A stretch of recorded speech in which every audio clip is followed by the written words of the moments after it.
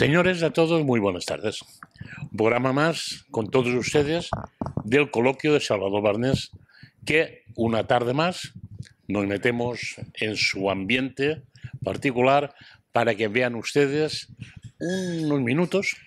Siempre traemos, procuramos traer gente importante, gente importante dentro de la política, gente importante dentro del ambiente social, que al fin y al cabo lo que más queda más que la política es una persona que tenga un poder social, que tenga una mirada abierta de lo que es hoy por hoy la sociedad. Tenemos a don Agustín Marichal, una vez más, con, todos nosotros. Dirán ustedes, bueno, otra vez está don, eh, don Agustín. Pues os oiga, le digo una cosa que don Agustín Marichal, una, porque es el presidente del Comité Local de Arona del Partido Socialista Español o Partido Socialista Canario, como quieran ustedes decir. Y como todos sabemos, es un empresario de pro tanto de la construcción como de la hostelería. Don Agustín Marichal es un conocedor de su partido, el partido del PSOE. Es uno de los primeros reformistas que tiene el sur de Tenerife, por no abrirme un poquito más, desde el tiempo de la transición. Y por eso le duelen noticias sacadas de texto y de contexto que tiene el Partido Socialista, que cada día pues la gente tiene que desayunar con cosas que no vienen a caso. En Arona la idea es de seguir la política que tiene hasta ahora en la alcaldía, ya que el partido está llevando un trabajo muy amplio de campo en todo municipio, tratando de que haya una mejor prospección tanto de sociedad, de vida y de trabajo. Agustín, muy buenas tardes. Buenas tardes, Salvador. Esa presentación me estaba escalofriando de la manera que estaba haciendo mi presentación. Estoy tranquilo que aquí todos los ciudadanos que ven, que ven esta televisión, casi todos ya me conocen un poquito. Bueno, eh, sí es verdad. Es verdad eh, lo, que, lo has estado diciendo y todavía hay cosas que son mucho más profundos, que a veces uno pues es bastante comedido porque la situación política que tenemos a nivel nacional y sobre todo en Canarias es para estar cada día muy sorprendido y muy alerta con lo que aquí en estas Canarias pasa. Normalmente, don Agustín, hemos visto que tras 25 años de esa parálisis, que no sabemos por qué, quién fue el culpable de todo esto, que ha tenido el, plan del parcial del mojón. Ahora, por lo que vemos, pues creo que hay eh, una firme voluntad de que esto vaya adelante y eso será, eso es dinero para todo el sur y grandeza para todos nosotros, seguro. Bueno, eso por encima de todo, eso por encima de todo, empiezo por el final, es eh, una gran noticia para el sur de la isla y para la provincia completa, para Canarias, porque hoy por hoy no hay un plan en toda Canarias, plan parcial hablando de urbanismo, que tenga las perspectivas de inversión económica que tiene el mojón. Pero sí te voy a contestar empezando por el final, pero sin olvidarme de lo que aquí ha pasado durante tantos años.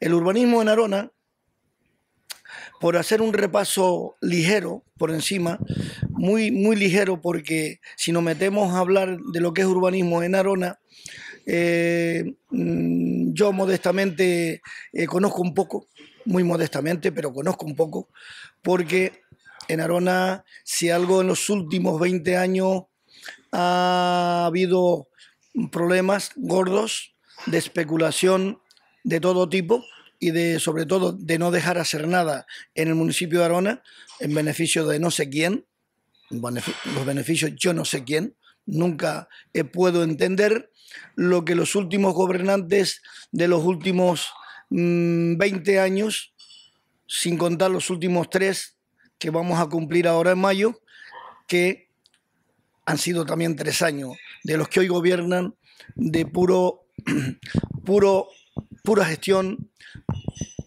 tantas reuniones y tantos problemas con lo que se han encontrado, pero a Dios gracias al final, en tres años una parte del urbanismo del municipio de Arona, una gran parte muy importante ve la luz. Ve la luz.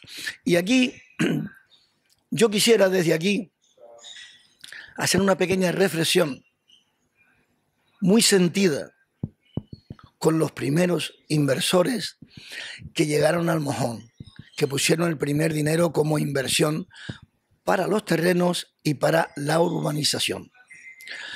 Hay gente, mucha gente, que se quedó en el camino, unos ya no están y otros siguen estando en la sociedad, pero económicamente jodidos porque han perdido sus propiedades y eso gran parte gracias a los gestores municipales que han gestionado este plan durante 20 años.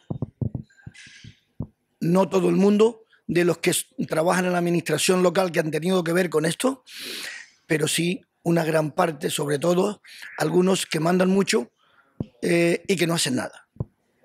Y esto que quede claro, y a mí, a estas alturas, y como tú bien sabes, siempre he hablado claro, y nunca me ha pesado, y ahora mucho menos, porque el peso me lo he dejado atrás. Y lo que me queda, no voy a estar coaccionado por nada ni con nadie para que me callen la lengua cuando me la corten. Si alguno se atreve, aquí estamos, porque yo no me voy a callar.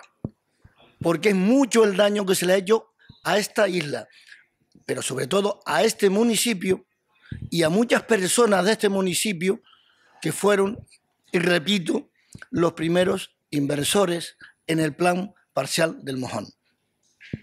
Es que usted lo que está diciendo ahora, también los que conocemos un poquitín, por años estamos aquí, el Gran Sanedrín ha tenido mucha culpa en el tema, porque esto del mojón habían dos o tres o cuatro familias o, media familia que se lo quería quedar desde tiempos inmemoriales. Y eso ha estado eh, mermando, restando, restando, restando. Y han estado 25 años estamos en ese tema. Entonces es hora, es hora ya, porque yo creo que es hora ya, de que la gente sepa nombres y posturas de aquellos políticos que no han querido darle luz a la isla, han querido darle más humo que luz. Bueno, los políticos, todos sabemos quiénes son. Los que han gobernado este municipio han gobernado en Arona los últimos 20 años, menos los tres últimos, y mm, sin olvidarse del Cabildo Insular y del Gobierno de Canarias. Han sido ese triángulo ha sido los verdaderos culpables de que el municipio de Arona no haya sufrido un desarrollo, vivido un desarrollo, si no haya sufrido el retraso y la paralización total y absoluta de que ningún inversor hasta ahora, en estos últimos años, haya venido a Arona. El tema, el tema está claro y todo el mundo sabemos quién han sido. Eh, los alcaldes en respectivos que han pasado en los últimos 20 años por Arona, todos eh, prácticamente de coalición canaria, el cabildo, insular en manos de coalición canaria y el gobierno de Canarias en manos de coalición canaria. Y esto no solamente al mojón, yo no me voy a quedar ahí. Yo te voy a decir que aquí, eh, en Adeje y en otros municipios eh, turístico de Canarias. Eh, se han hecho los PMM, se han aprobado y se han hecho ya varias inversiones en construcciones en temas que han destrabado y que han desbloqueado los PMM. En Arona es imposible, ha sido imposible, y te digo el por qué. Hicieron un avance de los PMM que era la chapuza más grande que el que te habla aquí en estos momentos, que no es un gran eh, licenciado en urbanismo, ni mucho menos, ojalá, pero los años, la experiencia, me ha enseñado un poquito.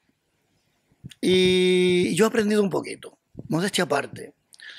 Y ha sido una especulación desde arriba, desde el gobierno de Canarias, de los que arriba mandan, impresionante. Tú date cuenta, y esto quiero que nuestra gente conozca la situación, cómo ha sido. Han cogido, han convertido, querían convertir Playa Las Américas eh, en este pucherazo de los PMM, querían de golpe y porrazo legalizar para que hubieran 500.000 metros cuadrados, 500.000 metros cuadrados de comerciales más aproximadamente. Pero no entraban, no les interesaba para esa otra cosa, sino Playa Las Américas. Porque después los cristianos les importaba muy poco, el mojón, por supuesto que lo mismo, aunque el mojón al final se sacó porque no tenía por qué estar, no tenía, nunca tuvo por qué estar en los PMM, y Costa del Silencio, el abandono y la desidia total que sufre Costa del Silencio, que todos los ciudadanos de Arona conocemos, ahí no entraban. Eso lo querían resolver de otra manera. No lo querían resolver. Es mentira. Ellos ahí no les interesaba, porque parece que ahí no, no engrasaba, no engrasaba la bisagra. No había quien engrasara la bisagra para que girara. El engrase estaba en Playa Las Américas. Entonces, Arona no puede seguir de esta manera, donde desde arriba nos digan a nosotros, a los aroneros, lo que aquí tenemos que hacer. Aquí vemos personas, unos más y otros menos, pero vemos bastantes personas conocedores de las inversiones y de saber lo que en Arona se debe hacer también en urbanismo, sin especular, sin especular. Los que especulan no están en Arona, están fuera de Arona. Y este que está aquí lo sabe. Y por eso hablo así. Y si alguien, alguien de esos especuladores me escuchan, me ven y quieren que me vengan a buscar. Yo tengo mi oficina en Los Cristianos y yo me siento con ellos. Y les digo lo que son, lo incapaces que son de hacer las cosas con seriedad, con transparencia y con honradez. No son sino puros especuladores. Y no son tantos, pero han sido fuertes hasta ahora. Pero eso en este momento en Arona, creo, creo, dentro de un año volvemos a tener elecciones, que eso se va a terminar de momento. Porque ahora Arona, no solamente en una semana pasada, después de tres años de trabajo del nuevo equipo de gobierno, ha hecho y ha resuelto la situación del mojón. Que ya, es decir, ¿no? Ha adjudicado al equipo redactor, ni más ni menos, que hizo el plan del 86, que lo comenzó y se terminó publicado en el 93 y entró en vigor en el 93, al equipo de Joaquín Sabater, aquel, aquellos señores que fueron premio urbanístico desde esa fecha, que yo estaba en Arona, yo era concejal en ese momento, y se buscó al mejor equipo, no para venir a especular, para hacer un plan. Se hizo un plan donde nunca lo hubo. En el 86 se comenzó, se aprobó definitivamente en el 93 y es el que hoy todavía está en vigor. Porque el resto de lo que ha pasado por arriba, por Arona, de los mandatarios en Arona, no han sido capaces de hacer un plan sin especular, porque tanta especulación hicieron con el que costó 12 años, 14 años para terminarlo, y al final lo tuvieron que tirar a la papelera porque no sirvió para nada, porque el, Tribunal Supremo lo echó abajo, porque no se dedicaban a hacer el trabajo, cómo había que hacerlo y cómo se sigue, con todos los informes que lleva un plan general, medioambientales, de todo tipo, sino a recibir en los despachos, mandados por los alcaldes respectivos de Arona, para mira, eh, vete arriba, habla con ellos, que ya ellos saben, para que te metan el terrenito que tienes aquí o allí y allí, y ellos por detrás poniendo la mano. Eso es triste. Aquí este país tiene que ser más serio. Y Canarias, Canarias, que está en Europa, no solamente es de los canarios, no lo quiero solo para mí, para toda la gente que a Canarias quiere venir, pero con un urbanismo mínimamente decente, y sin tanta especulación. Y cuando no se pueda calificar suelo, para una cosa no se califica. Y el señor que lo tenga y además que se califica mucho suelo, y tú lo sabes, solo para especular. Porque a lo mejor el propietario del suelo, solamente después que le califican el suelo, ya tengo esto calificado, ya pasó de 3 euros el metro, el metro cuadrado a 500 euros el metro cuadrado. Yo ahora esperar que venga el mejor postor y que me pague lo que yo quiera.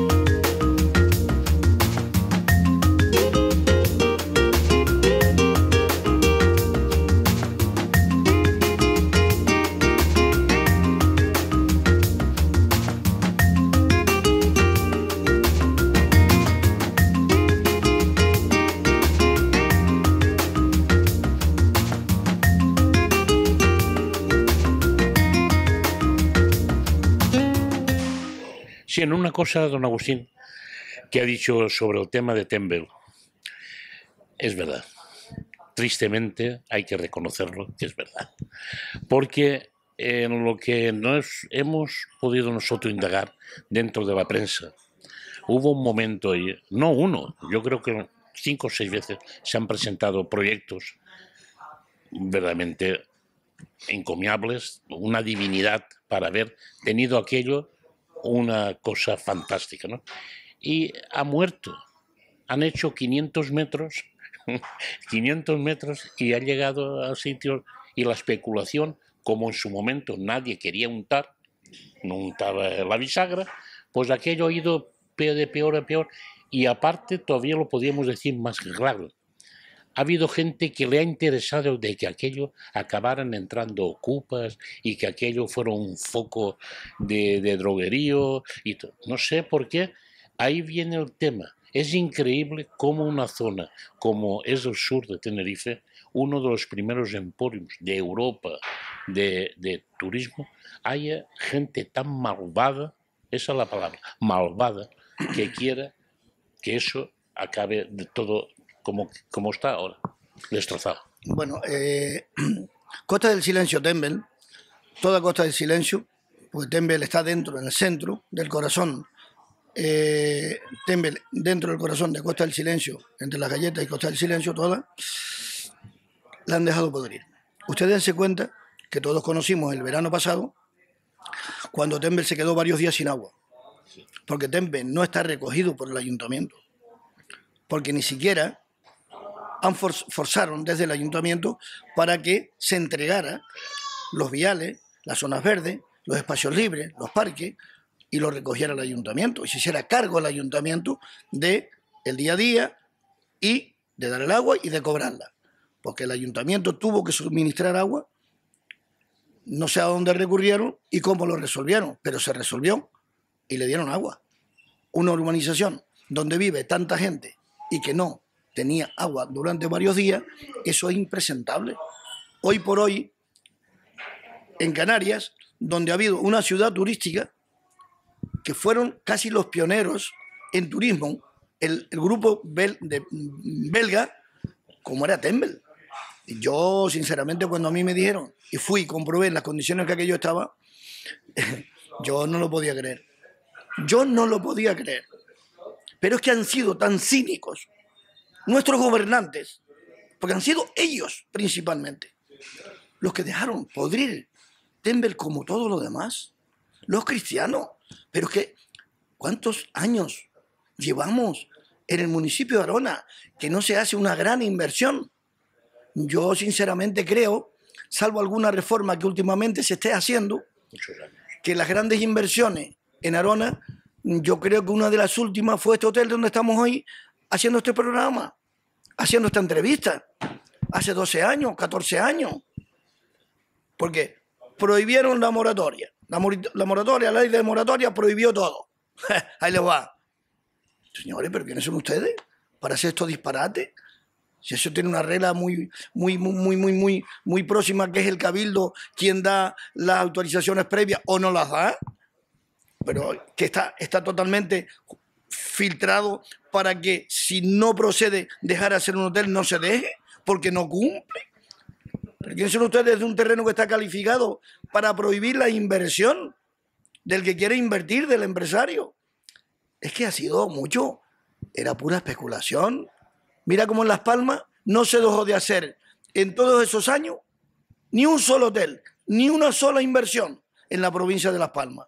Fuerteventura, la provincia de Las Palmas fue toda, porque Las Palmas de Gran Canaria, en todo el sur, bueno, por favor, si nos vamos mm, desde Las Palmas hasta los últimos días del sur, hicieron playas artificiales, centros comerciales dentro de la playa, en la zona marítima.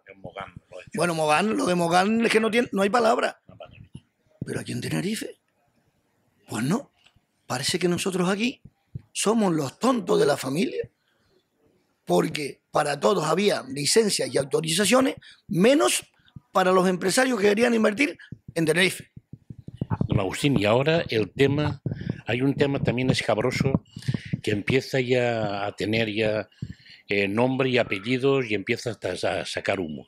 El muelle de los cristianos. Ahora, eh, porque últimamente estos últimos días parece que hay más barcos, yo no sé lo que hay, pero hay una cantidad de gente y claro, si hubiera cualquier, Dios no quiera, cualquier conato de, de algo raro, ahí nos íbamos a matar todos. No, hay, es un, un estrechamiento. No, vamos, vamos a no, en ese sentido, sí, yo vamos sin crear alarma, pero sin estarnos quietos, porque eso es prioritario de que el puerto comercial de, de Fonsalía tenía que estar ya en marcha. Tenía que estar ya en marcha, tenía que estar a punto de terminar, pero ni siquiera creo que hay financiación. Es lo que pasa aquí siempre. Ah, pero si hay financiación para que el gobierno de Canarias haga unas inversiones que a lo mejor también hacen falta en las, gran, en las grandes eh, em, calles eh, que van a ser bordeando Santa Cruz y toda esa zona. O sea que nosotros aquí, por lo visto, seguimos padeciendo que vivimos en el sur. Y yo lo digo sin ningún complejo de que en el sur nos marginan. No, lo digo sin complejo, para que lo sepan. El complejo lo tienen ellos, que vienen al sur y les cuesta venir al sur. Y les cuesta resolver y dar algo para el sur. Darlo no, aprobarlo como nos merecemos. Y el puerto de San, sin, sin irme del tema, el puerto de Fonsalía tenía que estar ya terminado el proyecto, trabajando en él. Porque el puerto de los cristianos, los cristianos, es pionero en el turismo del sur de Tenerife. Lo que hoy es el turismo principalmente en Tenerife, la isla de Tenerife. Hoy estamos viviendo en el corazón del turismo, que es el que nos da a todos, directa o indirectamente, un poco la vida. Eso hay que cuidarlo. Y para eso hay que hacer grandes infraestructuras turísticas. Y una de ellas es un gran puerto deportivo en lo que es hoy el puerto comercial de los cristianos. Eso tiene que irse a Fonsalía lo antes posible, porque no se aguanta el tráfico en los cristianos. Está hundiendo al comercio de los cristianos. Al pequeño comerciante han acabado con él. Primero en la avenida de Suecia y ahora ya casi en todos los cristianos. Señores, ya está bien, ¿eh? Igual, como le digo, con eso de, dice usted de los locales comerciales y centros comerciales, pero los centros comerciales aquí mismo se han hecho muchos y no han, no han, ¿cómo le diría? No han estado hablando con nadie para hacerlos. Se lo han pasado todo eso por, por forro. Mira, Y han dejado tanta gente como está, verdaderamente pasándolas muy mal. Mira, vamos a ver, Salvador. Ese es otro tema de nuestro gobierno de Canarias, de Coalición Canaria, de 20-26 años. Vamos a ver. Eh, no, vamos a regularizar las grandes superficies. Cuando al campo, cuando empezó toda esta movida, ¿qué hicieron? ¿qué hicieron? ¿Se ha dejado de hacer grandes superficies quien ha querido hacerlas y que ha entrado por el aro de lo que quien gobierna dice? Ahí los tienes. Yo, la gente lo conoce todo, ellos. Son los mismos. Eh, venden más barato, como decían que es que iba a abaratar la cesta de la compra para los canarios, esos supermercados y esas grandes, grandes mm, superficies que están de- dentro de esos grandes centros. Mentira, todo es mentira. Han acabado con el pequeño comercio a pie de casa. Ahora te tienes que concentrar, salirte de tu casa a comprar una gran superficie. Dice no, que ahí aglutinaban los puestos de trabajo que las familias perdían, los negocios familiares. No. Mentira, mentira. Hemos perdido calidad, calidad. Hemos- estamos comprando mucho más caro y hemos perdido muchos puestos de trabajo familiares. Nos han engañado también por ahí. Es que Canarias, los canarios, tenemos que profundizar, tener memoria y recordar, porque claro, cuando hay un tema social en la prensa, dura dos, tres días. Pero hay que tener memoria, hay que estar en, lo que hay que estar, porque hay gente que pasa del tema político. No podemos pasar jamás del tema político, sobre todo en una democracia, es la que tenemos, no hay otra cosa mejor que se haya inventado. Tampoco esto es perfecto, porque si no estuviéramos hablando de la forma que yo estoy hablando, y esto no es perfecto, pero señores, si encima los dejas a ellos, que sean los que gobiernan y los que se votan, pues mira a ver dónde iría- iríamos a parar, dónde estuviéramos ya, dónde estuviéramos ya. Nos, nos tendríamos que haber ido todos de aquí de Canarias, porque estos que dicen, se les llena la boca, con la bandera de Canarias, desde hace muchos años, son los peores especuladores que ha tenido Canarias en los últimos 30 años. Y ya está bien, ya está bien, señores. Fíjese, don Agustín, ahora ya, acabamos con esto. Eh, en un plan comparativo nos tenemos que sentir todos aquí peor, porque de verdad es una vendetta. Yo me siento, yo soy un ciudadano del sur y me siento que soy medio, eh, medio totorota, ¿no? Porque ¿a quién hablo? Si hablo con algún periodista del norte, pues el tío me mira así como por encima del hombro. ¿Por qué en el norte cuando pasa alguna cosita, atento, no digo que no hace falta, hacen falta igual como le puede hacer a una persona del sur? Una carretera en el norte está un poco tocada del ala, hacen una ampliación, a la mínima. Y aquí, oiga, esta semana pasada, no sé si lo dijo usted, 46 personas perdieron el vuelo. El martes pasado creo que fue.